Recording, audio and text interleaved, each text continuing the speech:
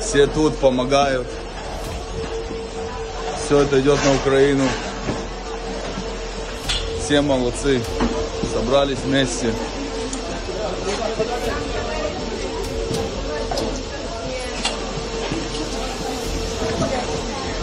Девчонки тут работают.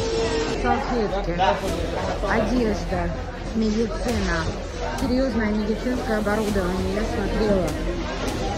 Проверяем сроки годности, э, упаковываем антисептики,